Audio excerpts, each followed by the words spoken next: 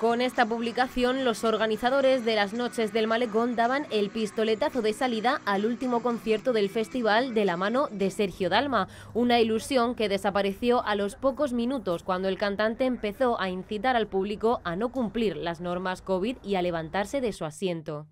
Yo les digo que hagan lo que ustedes sientan. Si no se quita la mascarilla no pasa nada. O sea, que tanto da que estén sentados como de pie. Por lo cual, hagan lo que ustedes quieran. Pero la cosa no quedó ahí. A los pocos minutos, las exigencias del cantante fueron un paso más allá. Vamos a interrumpir el concierto cada vez que les hagan sentarse. Amenazó con interrumpir el concierto cada vez que los guardias de seguridad ordenaran a los espectadores que se sentasen y tuvo su efecto. Así se estuvo desarrollando el concierto con miles de personas de pie incumpliendo las normas. Esto obligó a los organizadores del festival a cancelarlo al poco de comenzar.